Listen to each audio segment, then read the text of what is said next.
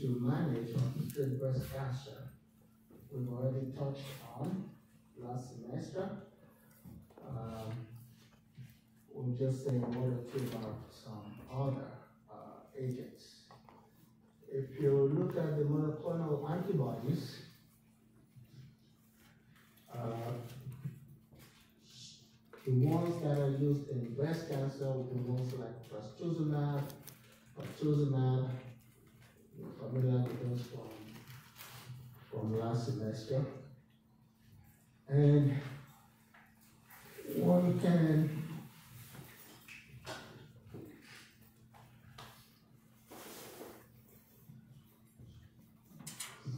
say that uh,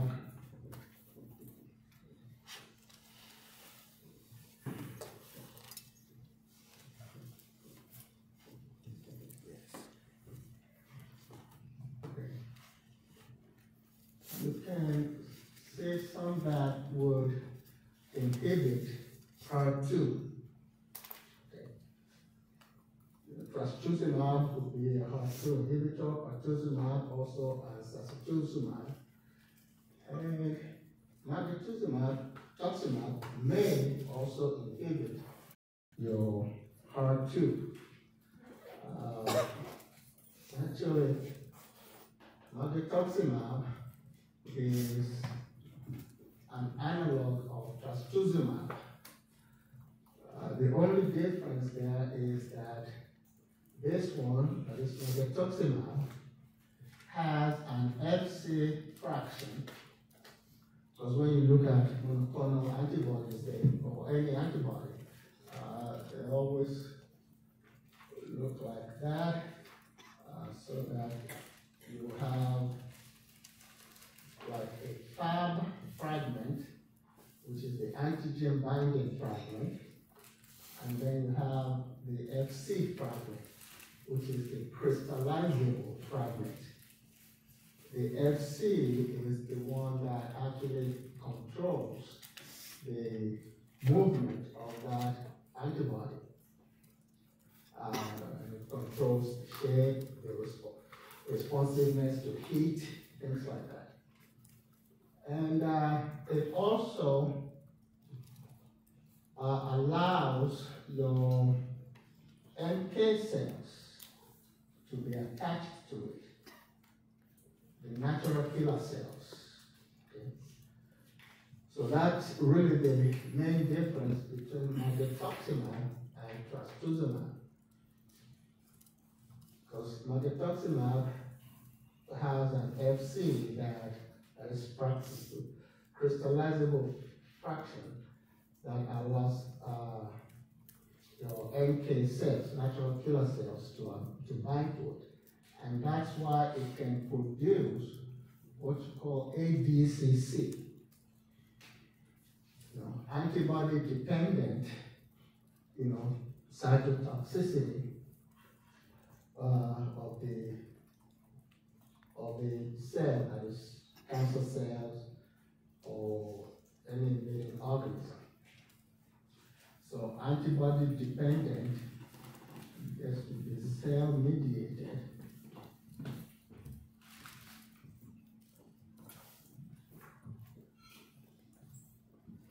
Cytotoxicity.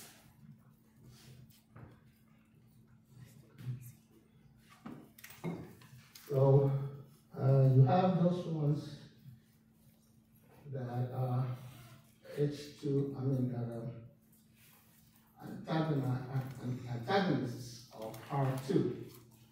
And so they should be used in breast cancer that is HER2 positive.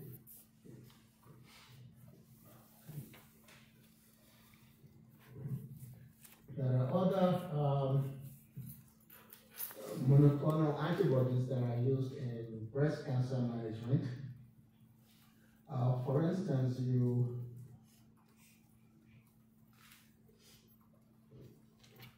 have pembrolizumab, pembrolizumab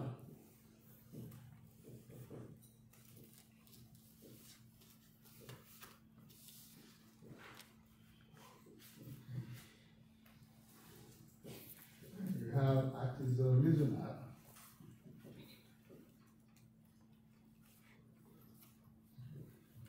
This one tends to inhibit uh, program death,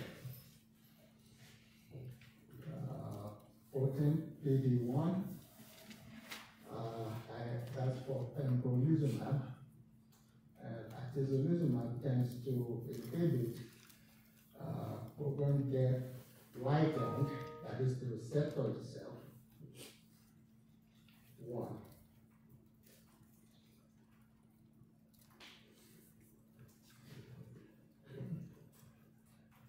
And uh, of course, you know that the pembrolizumab can be used for other cancers like lung cancer, like SCLC, or small cell lung cancer can be used. They also can atezolizumab. Okay, so those will be your uh, maps, the taxanes. Uh, we know those also. We've already dealt with them. Uh, that would be Taxol. Yeah. We have Taxotere.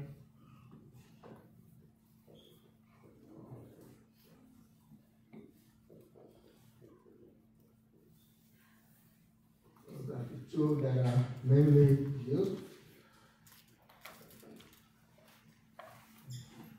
Uh, that is a Taxel.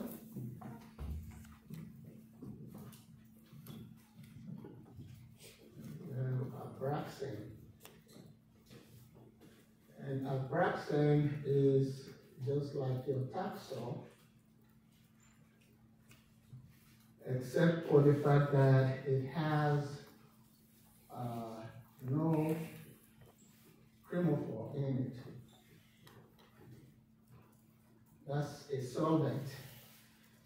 And that solvent has been shown to be responsible for uh, hypersensitivity reactions in many people. So Abraxane is like Taxol, but it has no Cremophor uh, in it. And cabazitaxel is used mainly for prostate cancer, not uh, breast cancer as such. So that is mostly used there. And we know how the taxanes work. Uh, they simply inhibit the covenant that is the uh,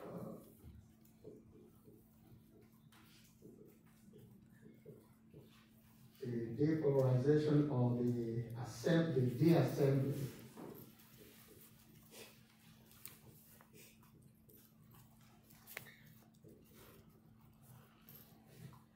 of your tubulin or microtubules. So they make the tubulin stick together uh, stronger. So you don't get spindle. If you don't get spindle, you don't get cellular division.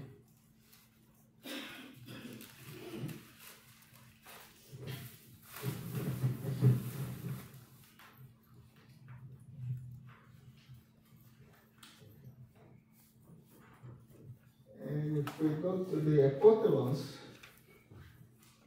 the epothilones, you only have one member there, that's a Ixempra.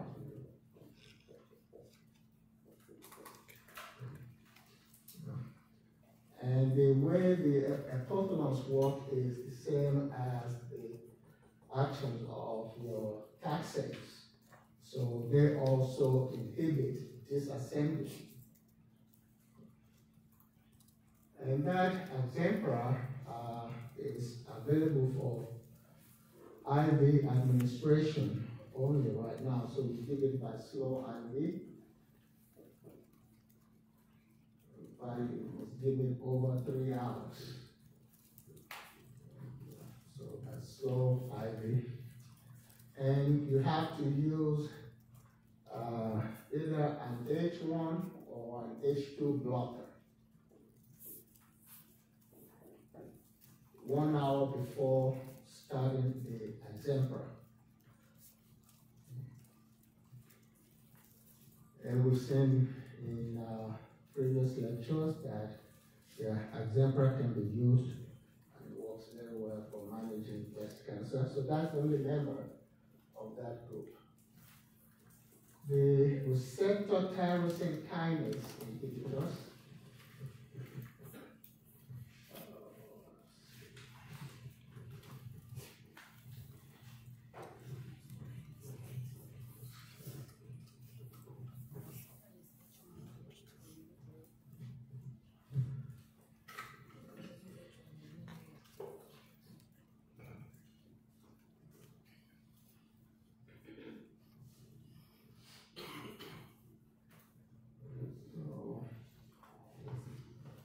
if we take that to be a cross-section of cells, the tyrosine kinase inhibitor that we're talking about, the tyrosine kinase has a, a receptor on the outside. Then it has a transmembrane domain, and then it has an enzymatic um, portion inside the cells. So you have external portion of that receptor tyrosine you have the transmembrane portion, they're usually called domains. And then you have the intracellular domain. The intracellular domain is the one that has the enzymatic enzymatic uh, action. So, for instance, if a growth factor, let's say epidermal growth factor, the growth factor will complex with the receptor portion of that receptor tyrosine kinase. And once that is done, then the information will get down to where you have the enzyme, and then you will get the production of a protein inside the cell that is called RAS. And then RAS will be uh, activated to form RAF. And then RAF will be phosphorylated to give you MEK. These are all proteins that get activated by phosphorylation. It's a cascade type thing. And then MEK will go to MAP, and that's your mitogen activated uh, protein kinase. NK is also mitogen activated, okay, but the there is external, you know, mitogen activated external kinase. But once this MAPK is formed, MAPK can then go into the nucleus of the cell. Inside the nucleus, you will see some genes, like, like that Jun, for instance, the Jun uh, uh, gene, and like the Fos and the Myc. And what once MAPK phosphorylates or make June 1st and make to be active, remember this is inside the nucleus.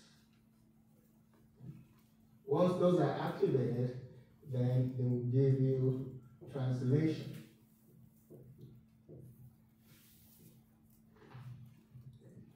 So those genes would be translated into proteins that would then make that cell divide. So this is sometimes called the RAS MAPK pathway. So it is a signaling system. The RAS MAPK signaling pathway.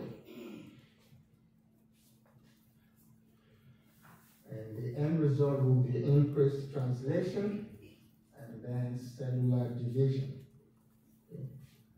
So your receptor tyrosine kinase inhibitors would usually just block that receptor in the cancer cells so you don't have translation of those genes proteins, so there's no cell division in, in those cancer cells.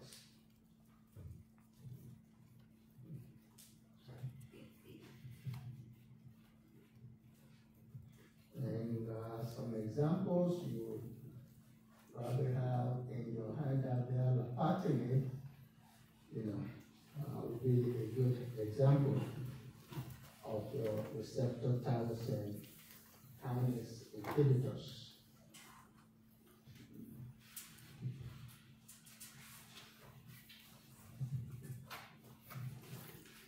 I think we also did neratinib in that handout. So we should see it here.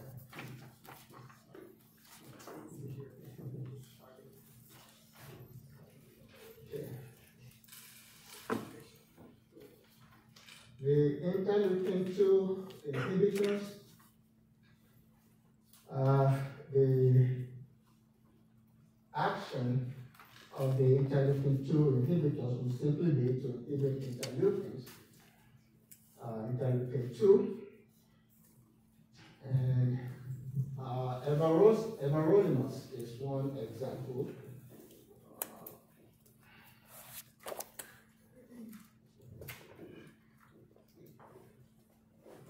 It's one example that can inhibit interleukin 2 in the cancer cells. If you inhibit interleukin 2, you will not get that uh, viability of the cancer cells. And the alkylating agents, we've gone through those uh, previously. So if you're talking about ifosfamide, cyclophosphamide, those would be part of the alkylating agents. And uh, of course, you have the folic acid analogs or antagonists. That would be your methotrexate. Okay, And we've already done that. The pyrimidine nucleosides would be your 5-FU and derivatives that can be used in breast cancer. And uh, you have gemcitabine that can be in this group also, and capecitabine that can be in there. And the antibiotics, I'm sure you've done that in this class last semester. So if you're talking about your uh, bleomycin, for instance, doxorubicin, daunorubicin,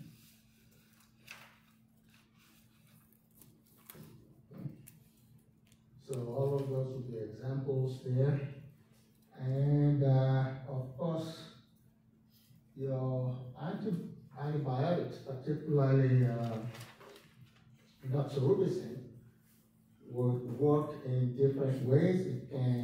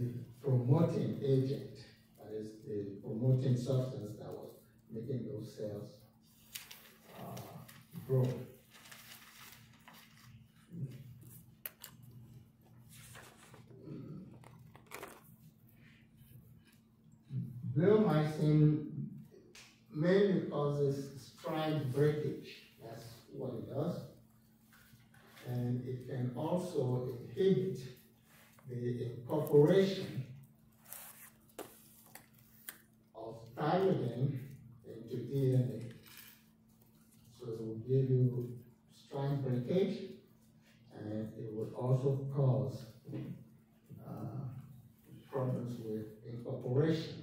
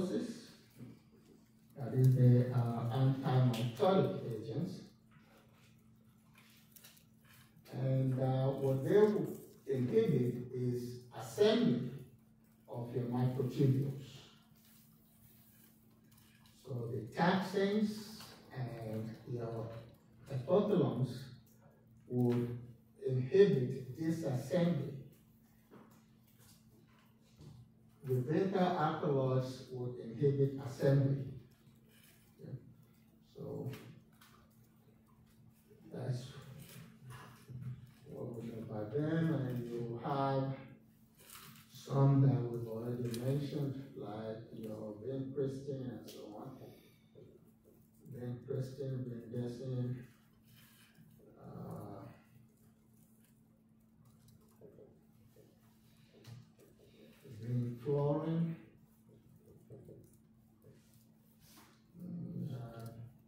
the railing.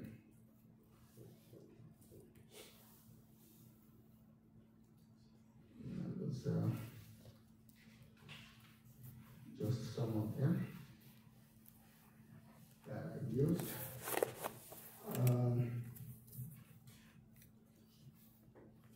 The aromatase inhibitors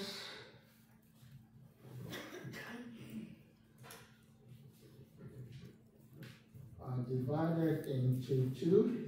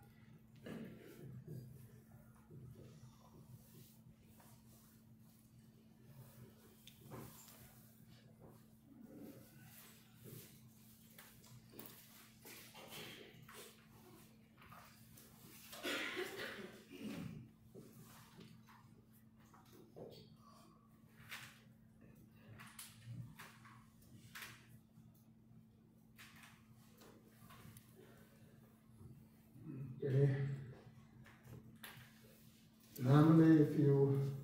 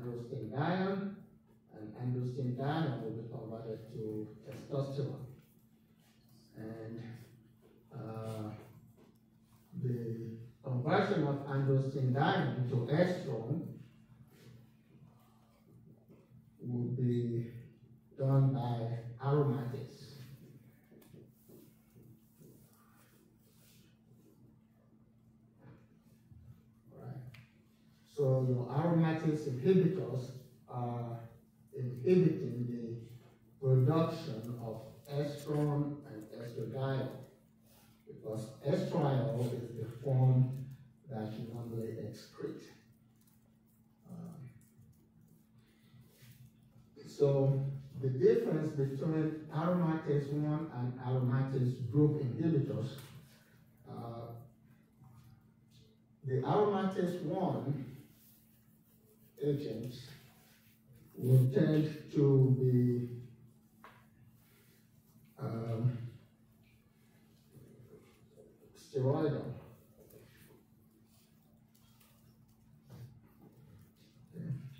And they are non-competitive. They are non-competitive inhibitors of that enzyme.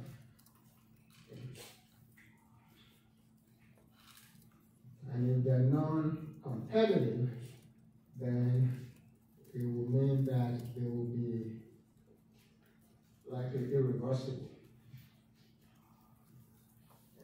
The aromatase 2 inhibitors are non-steroidal and they are competitive inhibitors and so they can be reversed, their effects can be reversed.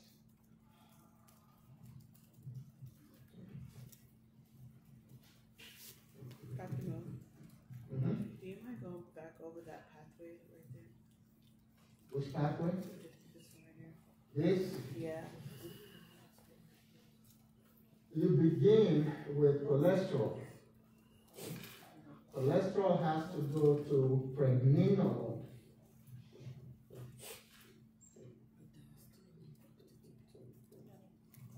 Okay? And then the pregnenolone will take on the hydrox- hydroxyl group. You'll have hydroxypregnenolone, you know, 17 hydroxy. And that can then be converted to dihydroepiandrosterone, uh, DHEA. And DHEA is then converted to androstenedione, which of course is an androgen. And that then is converted to testosterone.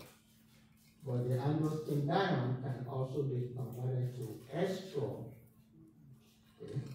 So you have an androgen being converted to an estrogen. And then your testosterone can be converted to estradiol. And this estradiol and estrone will eventually form estriol. And that's the form your estrogen will get excreted. And um, you have a, a compound called aminoglutethimide. And that one inhibits this step right here. Aminoglutethimide will inhibit the conversion of cholesterol to pregnenolone. So the very first step will be uh, inhibited by your aminoglutethimide.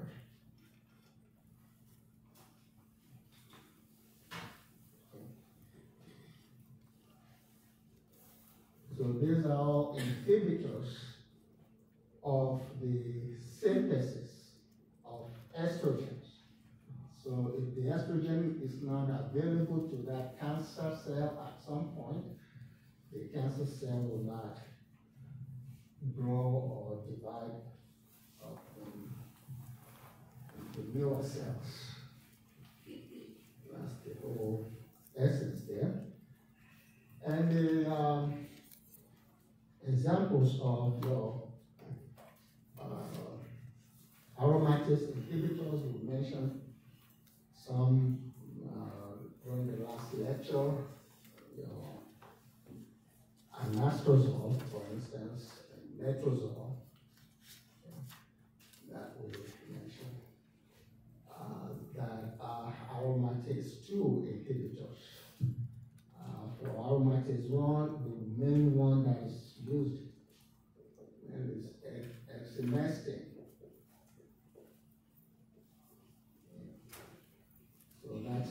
very commonly used.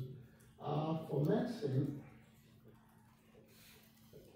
medicine is also uh, popular, but among them it is the exemestane that is most often often used. Chlormestane is too new, it's very, very new. So you can, you can just regard that as an investigative agent, even though it has actually been approved now. So, uh, those are some examples there of your aromatase one inhibitors, and that's where uh, aminoglutethimide would also belong uh, in your aromatase one inhibitors. LHRH, uh,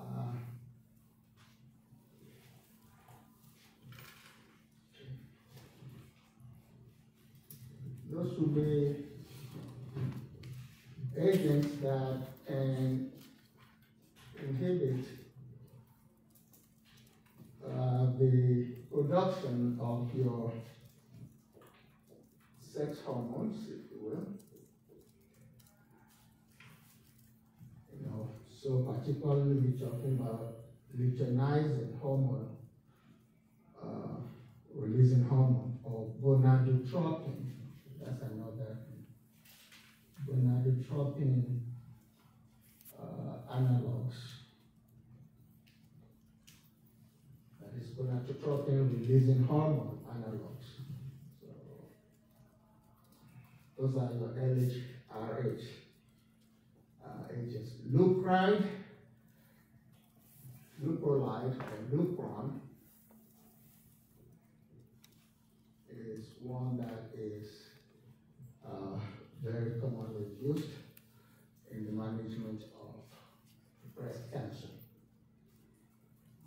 The anthracene you only have one. Uh, by the way, the LHRH compounds are used more in prostate cancer than in breast cancer. And so when we do prostate, we'll go over some specific ones The anthracene you you just have one mitoxantrone.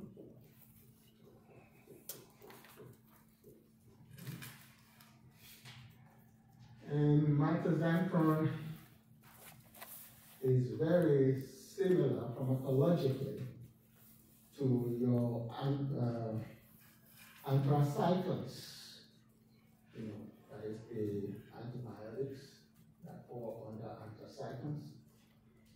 But it produces far less cardiac problem uh, than your, say, doxorubicin or daunorubicin, what have you, or epirubicin. So in some cases it is preferred, and if you remember the NFL regimen, you know, the N, of course, is your mitoxantrone. Uh, in the CFF regimen, the M, of course, is the anthracene mitoxantrone. So we know it is very well used in breast cancer. Uh, of course, we mentioned that in different cancer situations last uh, semester. And of course, we talked about it in, in product two, I. So you're talking about the glucocorticoids. And we know that this prednisone is used in, in breast cancer. Uh,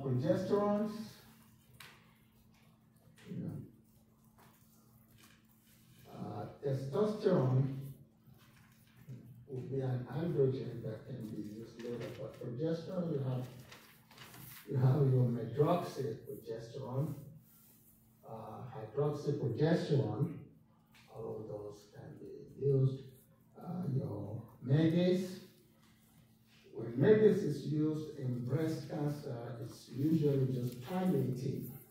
You want to uh, make the patient feel okay by using Megace because it will improve appetite in such a patient. So it doesn't do much to the cancer itself, but it is commonly used because of that palliative effect. Androgens, you're talking about testosterone, and you're talking about your halotestin, uh, which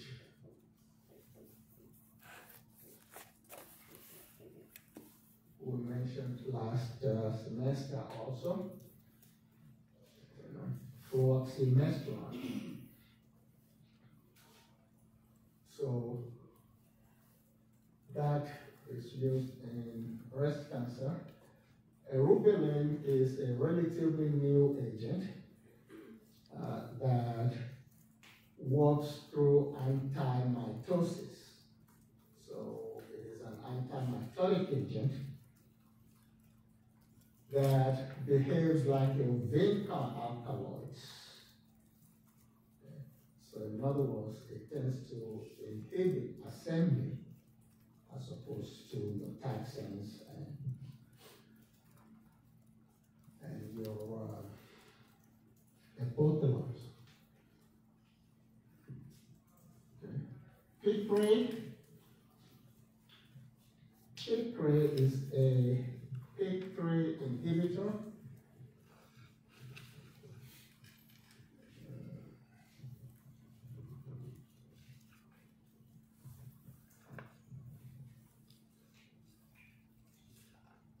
If you start with your PIP2, you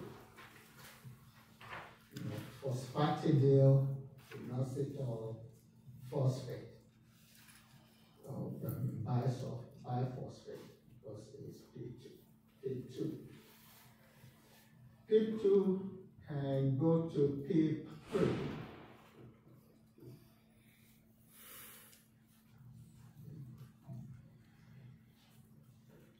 And that's through the actions of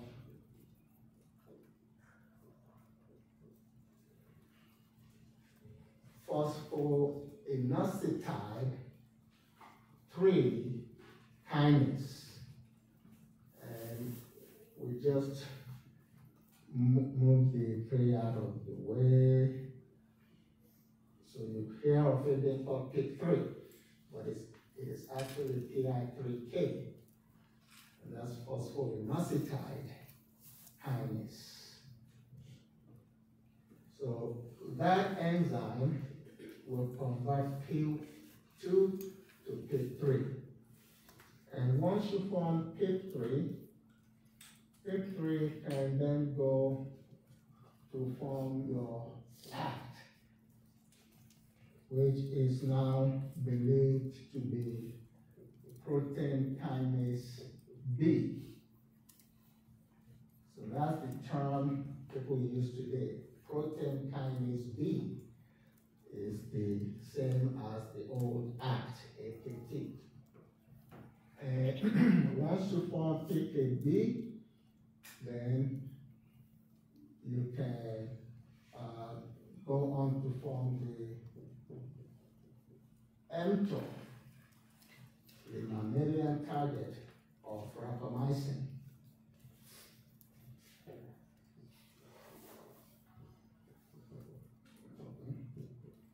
And uh,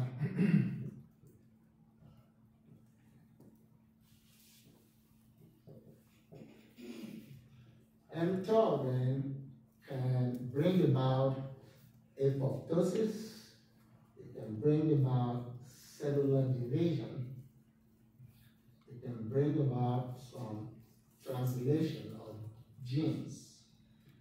Okay. So basically, it can make those cancer cells uh, proliferate.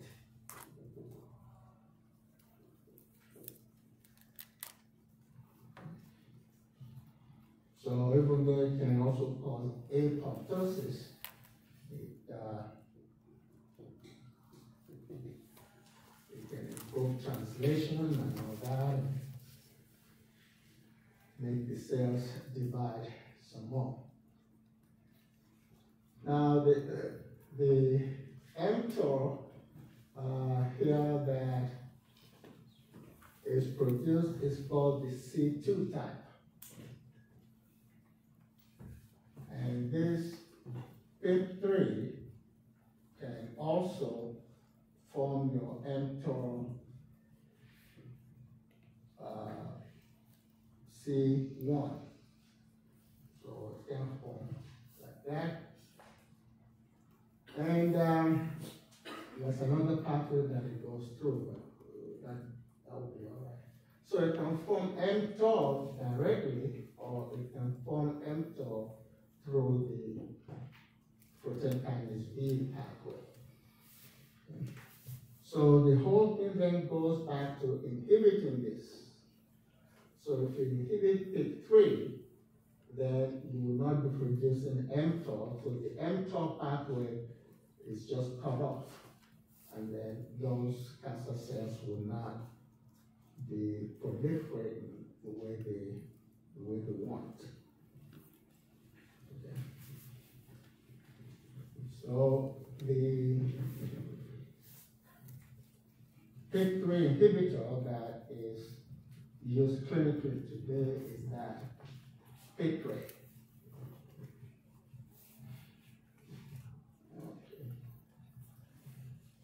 And uh, all these other ones, uh, see, we've discussed uh, before in the previous uh, lectures. Um, voilà, this time. For the last two minutes, let's just say something about, oops. Let's say something about, um, about your cervix cancer. For cervical cancer, the main thing is early detection and prevention. If you detect it early, the five-year survival rate is at about ninety-five percent. And, um, that's, that's a process called conization. It's the user device that will give you a cone-like extraction pathway. So you can go into the cervix and remove a cone-like portion of the cervix. If the cancer is still so small that it's localized, it will come out with the cone. That's why it's called conization. So that removes the cancer, period. And conization can also be used just for diagnosis. It's like a biopsy type method. And then you can use cryosurgery where you just freeze, freeze out the cervical cancer and then ablate it or cut it off uh, later. And the third method that is used is just to ablate, that is ablation, cut off, to ablate the lung or the uh, cancer. And you can use for prevention, you a seal. This is a cord, you know, quadrivalent.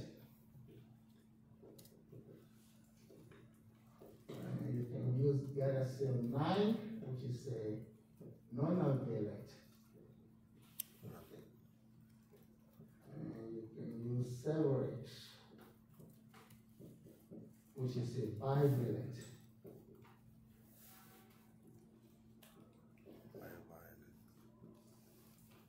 for prevention. These are uh, stuff that you can see in the pharmacy that you can inject. And the drugs that are used for cervical cancer are just drugs like bleomycin. Uh, they use the pembrolizumab also that can be used. Topotecan can be used. Fiberfil can be used.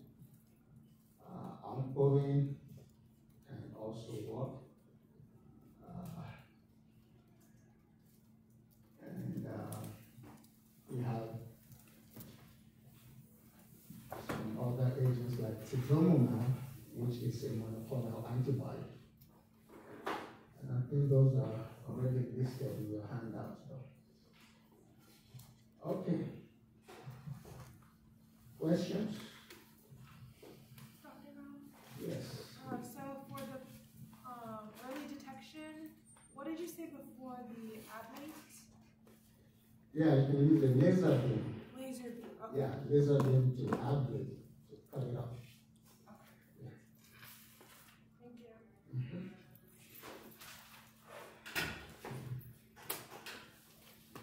Any other question?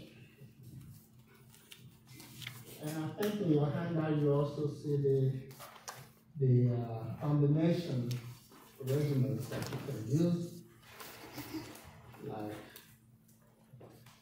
MOB, CIS, MOB with cisplatin, and you can see FU6, which is 5FU for cisplatin, that can be used. and use the MCs from Saturday with that cisplatin. So those are some combinations for cervical cancer.